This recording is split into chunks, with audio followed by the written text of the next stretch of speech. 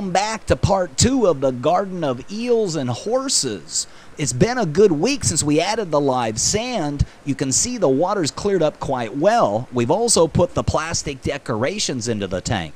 There's the spray bar, which is the return from the filter compartment in the back. You can see it discharges its water up at the surface. That comes around to the front of the tank, down the face of the tank, and horizontally across the bottom, and then back up in the backside of the tank. The advantages are twofold. One, it keeps the plastic plants standing tall, and two, it creates a laminar or a horizontal flow of water or a sheet of water that moves horizontally across the sand. This should be great for our garden eels that we're just about ready to add. So often people don't understand how to acclimate um, fish uh, to their tank.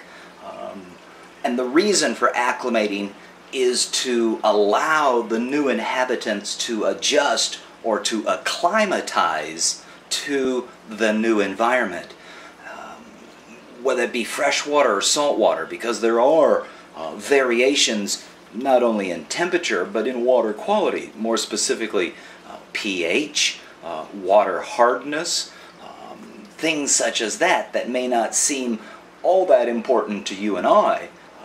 By jumping in a pool, you can feel the big shock temperature change uh, from the air into the cold water if it's a radical situation like that with fish, that can be quite stressful. And stress is what uh, is the biggest killer of fish. It, it, it's what will allow the fish to become uh, receptive, uh, if that's the right word or the wrong word.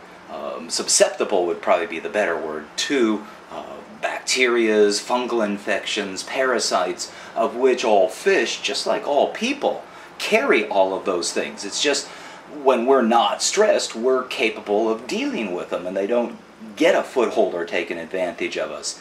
Uh, but unfortunately, once you become stressed, your system then becomes susceptible uh, to these other uh, issues. So, point being, this is the bag version of acclimation. So you've brought your fish home uh, or received them via the shipment and they've arrived uh, pumped full of oxygen with a clamp of some sorts or a rubber band uh, wrapped around the top, which is containing some air inside there. You don't really know how long they've been in there, and really, was that oxygen or was it just air, or did someone breathe into the bag to inflate it?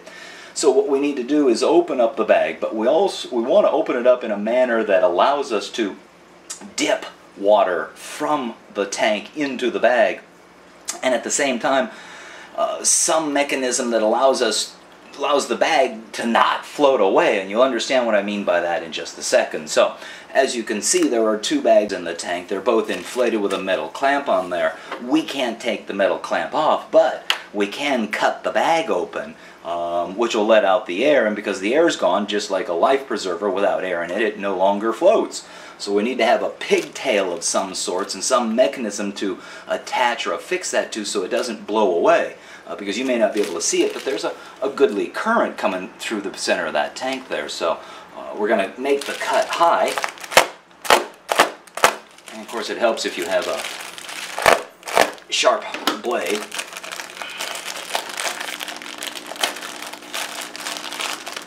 And, uh, so there we've opened up the bag. We've got this tall pigtail. So what we're going to do is dip the bag into the aquarium trying to get aquarium water in the bag, not the aquarium water in the tank. And then the pigtail part of it would be was we can take this and kind of set the light hood on top of it so that that still floats there. It doesn't float away. Because if it floats away, it's just going to sink and nothing's going to come as a result of uh, that kind of acclimation. So again, hold the bag in a manner that allows us to dip aquarium water into the bag, not the bag water into the tank. And typically the reason you don't want to introduce the bag water into the tank is the fish, who knows how long he's been in that bag, has done his business in the bag, so no need to introduce that into the tank. And you don't really know how quality a system, although you hope it's high, uh, that your stuff came from. So why take a chance of introducing something into the tank? So these bags are going to float for about 30 minutes. uh, we're going to every 10 minutes open up the bag and dip some of our tank water into the bag. That way, over the course of 30 minutes, uh, approximately an additional 25% of our water has gone into the bag. Now, with that in mind, if you have a system that, that as the water leaves the tank, uh, it needs to be replenished, be prepared to reintroduce some water back into the tank as a result of this type of acclimation. So let's go ahead and let those acclimate for a bit. And now, after 30 minutes, we're going to lift the bags themselves out of the tank and place them in a 5 gallon bucket down below on the floor. This will allow us to remove the garden eel only, leaving the dirty water in the bag.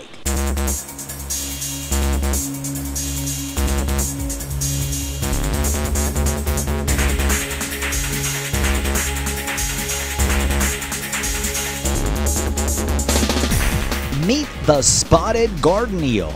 This one is about six inches long and has already burrowed into the sand and is poking out, taking nips at food that's floating on by.